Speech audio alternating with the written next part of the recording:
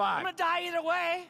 Don't test me, lab rat. I'm not fucking around. Four. Do you know what space sounds like? People screaming. Three. Tell my mother I love her. Two, one, zero!